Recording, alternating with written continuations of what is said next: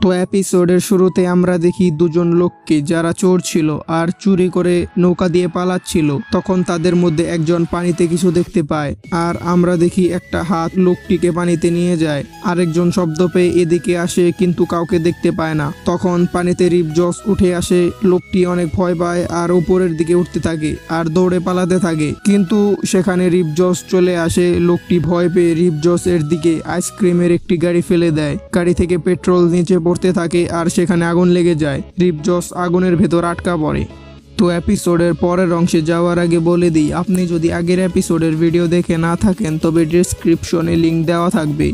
আর চ্যানেলে নতুন হলে সাবস্ক্রাইব করে দিতে পারেন। আর ভিডিওটি ভালো লাগলে অবশ্যই লাইক ও কমেন্ট করে দিবেন। তো ব্যাক টু দ্য এপিসোড ব্যানের চারদিকে আগুন লেগেছিল ব্যানের খুব কষ্ট হচ্ছিল। তখন ব্যান সেখানকার রাস্তা ভেঙে পানিতে নেমে পড়ে। লোকটি খুশি হয়ে চলে যাচ্ছিল, তখনই ব্যান নিচ থেকে হামলা করে লোকটিকে ধরে ফেলে আর ছুড়ে মারে। তারপর সেখানে পুলিশ আসে আর ওকে ধরে নিয়ে যায়। তখন একটা পুলিশ ব্যানকে বলে, যে যাই বলুক না কেন, তোমরা সার্কাসের লোকগুলো অনেক ভালো। তখন ব্যান বলে, আমি কোনো সার্কাসের লোক নই, বরং আমি হলাম একজন সুপার হিরো এটা বলে ব্যান সেখান থেকে চলে যায়। তারপর ব্যানরা আরবিতে করে যাচ্ছিল গোয়েন সার্কাস দেখতে চায়, সেই জন্য গ্র্যান্ডপা ওদের সেখানে নিয়ে যাচ্ছিল। গ্র্যান্ডপা বলে, আমি সার্কাস সেই সময় গিয়েছিলাম যখন আমি অনেক ছোট ছিলাম। ব্যান এখানে যেতে চায় না। ব্যান বলে, সার্কাস তো ছোট বাচ্চাদের জন্য। গোয়েন বলে, ছোট বাচ্চাদের হ্যাঁ তো আমরা কি তাহলে? তারপর গোয়েন ও গ্র্যান্ডপায়ের কথায় ব্যান যেতে রাজি হয় আর জম্বোজোয়ের সার্কাস দেখতে যায়। সেখানে গিয়ে প্রথমে থামস্কুলের সার্কাস দেখানো হয়। থামস্কুল ছিল অনেক শক্তিশালী। সে একটি লোহার রড নিমেষেই বাকিয়ে দেয়। তারপর ফ্রাইট উইককে দেখানো হয়,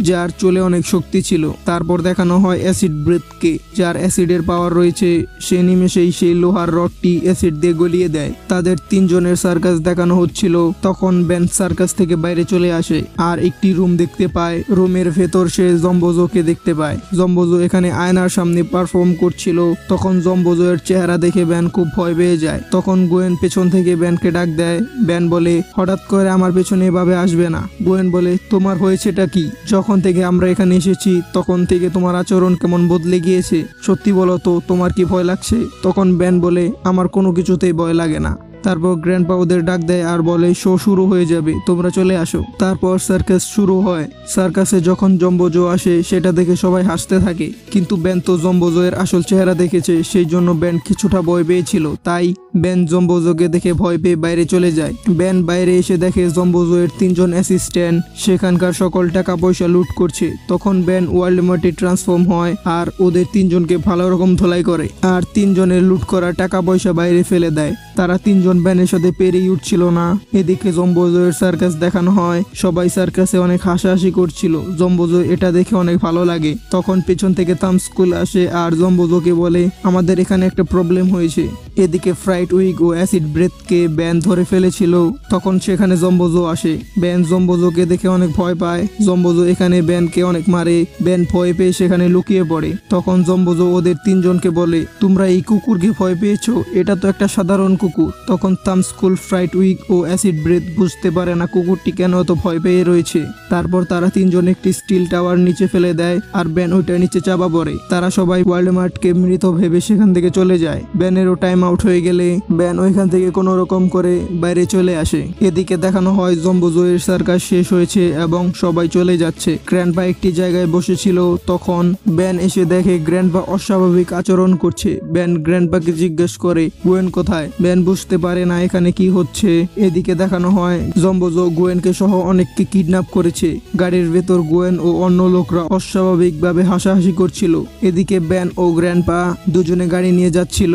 তখন ব্যান বলে, হয়তো শো চলার সময় জম্বোজো পুরো এলাকার লোকদের হিপনোটাইজ করে ফেলেছে। আর সেই সুযোগে জম্বোজো এর তিন চামচা বাইরে এসে টাকা পয়সা লুট করেছিল। কিন্তু ওরা গোয়েনকে কেন ধরে নিয়ে গেল? গ্র্যান্ডপা বলে, আমি তো জানি না। কিন্তু আমরা শীঘ্রই ওকে ধরে ফেলব। তখন ব্যান বলে হ্যাঁ ওই সাধারণ জোকারকে দেখে কে ভয় পাবে? গ্র্যান্ডপা বলে, তাহলে তুমি কেন ভয় পেয়ে আছো? ব্যান বলে, সত্যি বলতে আমার জোকারকে দেখে অনেক ভয় লাগে। গ্র্যান্ডপা বলে, সকল মানুষই কিছু না কিছু দেখে ভয় পায়। ছোটবেলায় আমি উঁচু দেখে অনেক ভয় পেতাম, কিন্তু এখন পাই না। কখনো কখনো নিজের ভেতরে থাকা ভয়কেই ভয় করাতে হয়। এটা বলতে বলতে হঠাৎ করে গ্র্যান্ডপা অজ্ঞান হয়ে যায় আর গাড়িটি আউট অফ কন্ট্রোল হয়ে যায়। তখন ব্যান কোনো রকম করে কষ্ট করে স্ট্রেডিং ধরে ফেলে, কিন্তু গাড়িটি উপর থেকে নিচে পড়তে থাকে। ব্যান তো বুঝতেই পারে পারে না যে কি করবে। কিন্তু তবুও ব্যান কষ্ট করে গাড়িটিকে থামায়। তারপর ব্যান গ্র্যান্ড গ্র্যান্ডপাকে ডাকে আর গ্র্যান্ডবার হোশ আসলে গ্র্যান্ডপা বলে, আমি অনেক দুঃখী। ব্যান বলে গ্র্যান্ডপা আমার সার্কাস থেকে বাইরে আসার পর সার্কাসে কি হয়েছিল? তখন গ্র্যান্ডপা বলে, আমার মনে হয় ওই জম্বোজো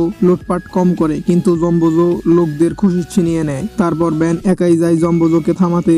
ব্যান দেখতে পায়, থাম স্কুল ফ্রাইড উইক ও অ্যাসিড ব্রেথ লুটপাট করে যাচ্ছিল। তখন ব্যান ভুল করে একটি বাস্ক নিচে ফেলে দেয়। তারা তিনজন বুঝতে পারে এখানে কেউ রয়েছে যে তাদের ওপর নজর রাখছে। ব্যান এখানে অমনিট্রিক্স ইউজ করার চেষ্টা করে কিন্তু অমনিট্রিক্স চালুই হয় না। তখন তারা তিনজনে সেখানে হামলা করে কিন্তু বাক্সের পেছনে কাউকে দেখতে পায় না। তখন পেছন থেকে শব্দ হয় আর ব্যান আপগ্রেডে ট্রান্সফর্ম হয়ে জম্বোজয়ের তিনজন অ্যাসিস্ট্যান্টকে অনেক পিটায়। তারপর ব্যান ভয়ে ভয়ে সার্কাসের ভেতরে প্রবেশ করে। সেখানে গিয়ে ব্যান চারদিকে শুধু আয়না দেখতে পায় আর জম্বোজো আয়নার মাধ্যমে ব্যানকে অনেক ভয় দেখায়। ব্যান এখানে অনেক ভয় পায়। কিছুক্ষণ পর সেখানে জম্বোজো আসে আর জম্বোজো তার স্পেশাল মেশিন ব্যানকে দেখায়। আর তখন জম্বোজো তার সকল প্ল্যান ব্যানকে বলে। ব্যান বলে, তাহলে তুমি এই মেশিন দিয়েই সকল মানুষের হাসি ছিনিয়ে নাও। জম্বোজো বলে হ্যাঁ এটাই সেই মেশিন আর জলদি আমি বড় শহরে গিয়ে সকল মানুষের খুশি ছিনিয়ে নেব। তখন ব্যান বলে, গোয়েনকে ফিরিয়ে দাও। ব্যান দেখে গোয়েন মাটিতে পড়ে আছে। এটা দেখে ব্যানের রাগ হয় এবং কোস ফ্রিকে ট্রান্সফর্ম হয় আর জম্বোজোকে মারতে থাকে। ব্যান জম্বোজোকে অনেক মারে আর মেশিন ভেঙে ফেলে। যার ফলে মেশিনের ব্লাস্ট হয় আর সকল লোকজন ঠিক হয়ে যায়। তারপর ব্যান জম্বোজোকে গোস্ট ফ্রিকের আসল চেহারা দেখায় আর গোস্ট ফ্রিক এর সেই অবস্থা দেখে জম্বোজো অনেক ভয় পেয়ে যায়। ব্যান জম্বোজোকে এমন ভয় দেখায় যে জম্বোজো ফেটে যায়। তারপর ব্যান গোয়েনের কাছে গিয়ে গোয়েনকে জাগায়। তারপর দেখানো হয় ব্যানরা আরবিতে করে যাচ্ছিল। ব্র্যান্ড গ্র্যান্ডপা ব্যানকে সাবাসি দেয় কারণ ব্যান তার ভয়কে কাটিয়ে উঠেছে। তখন গোয়েন এসে ব্যানকে ভয় দেখানোর চেষ্টা করে, কিন্তু ব্যান ভয় পায় না আর সেখান থেকে চলে যায়। আর এখানেই বেন্টেন ক্লাসিকের সিজন ওয়ানের এপিসোড নাইন লাস্ট লাভ এর ফুল স্টোরি এক্সপ্লেনেশন শেষ হয়।